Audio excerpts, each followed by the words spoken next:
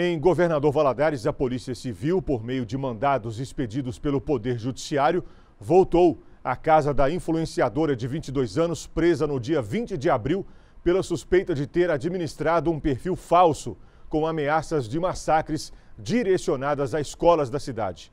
Materiais apreendidos hoje serão periciados para dar prosseguimento às investigações. A Polícia Civil foi à casa da investigada para cumprir o mandado de busca e apreensão porém não havia moradores. A corporação recebeu informações de que um familiar da influenciadora digital estava em uma unidade de saúde do bairro Novo Horizonte. A equipe foi à unidade e voltou com a mulher para a residência. A ação é uma das fases das investigações sobre o caso da influenciadora digital presa no mês passado em Governador Valadares. Em decorrer das investigações, surgiram informações que poderia ter a, participação de outras pessoas.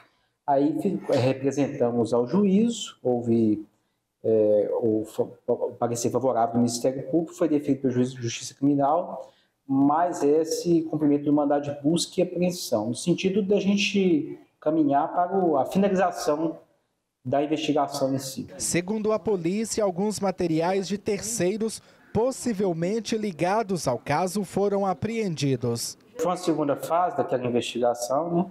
E foi cumprido o mandado de busca e apreensão, com a função ali de apreender outros aparelhos telefônicos, porque surgiu durante né, a tramitação da investigação, do aprofundamento das diligências, poderia ter a coparticipação de outras pessoas tendo em vista que no primeiro ato a gente só buscou os aparelhos do alvo principal. Foi apreendido três aparelhos telefônicos, os quais nós vamos realizar análise, né, análise pericial dos dados ali constantes. No mês passado, uma influenciadora digital de 22 anos foi presa sob a suspeita de incentivar ataques em escolas de Governador Valadares.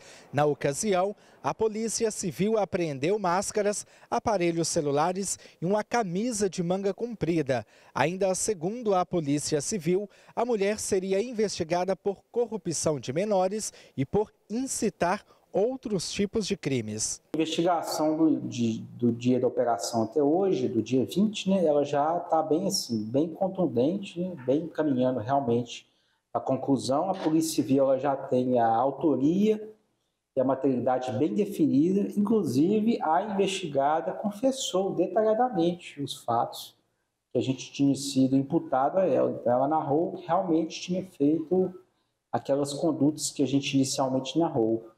Inclusive, conseguimos é, colher oitiva de alguns envolvidos. As investigações ocorrem após a polícia ter acesso a vídeos da mulher investigada que circulavam nas redes sociais. Ainda segundo a polícia, os conteúdos faziam alusão a ameaças a escolas. O delegado deu mais detalhes sobre os trabalhos. A gente está caminhando para o fim da investigação, mas a Polícia Civil, aquela, aqueles indicativos que a gente tinha no, no início acerca da autoria e materialidade somente se confirmaram no decorrer da investigação, inclusive com a confissão da investigada. A gente viu alguns questionamentos na internet acerca do, do trabalho que poderia ter sido levado por fake news, por falsas informações. Não é a forma da polícia trabalhar, a gente trabalha com elementos concretos. Então, se chegou à autoria e materialidade, foi baseado em dado técnico, em dados de informática, de pesquisa, de quebra, de dados de inteligência.